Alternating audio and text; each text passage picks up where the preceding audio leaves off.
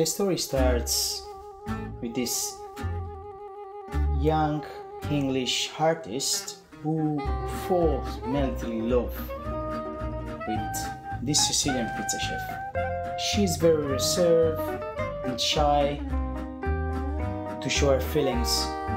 Um, he's unconfident with his English, so he decided to pull all his passion and love into his food and pizza. That's the way they communicate their love. For us, Love and Presents explores the similar passion and artistry that goes into making food and into making art and design.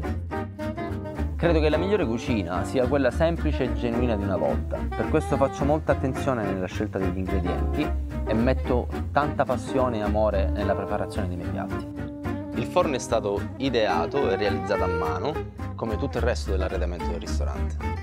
The idea is that it is a place where food and art can be appreciated and experienced in a dynamic environment. A table where the furniture, the lighting, the menus, the graphics, uh, all these things can be created and curated by different artists, designers, makers and creatives. There are endless possibilities, totally up to the imagination. So far, the story is set in uh, their home and studio. Now, it needs the happy ever after.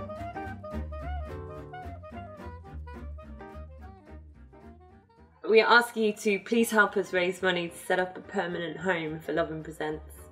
I soldi verranno utilizzati per eh, affittare un nuovo locale, per eh, comprare le attrezzature, per costruire un nuovo forno e per i costi dello startup.